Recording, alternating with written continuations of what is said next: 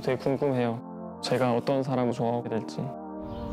좋은 인연을 찾는다면 일상적인 것들이 기대돼요.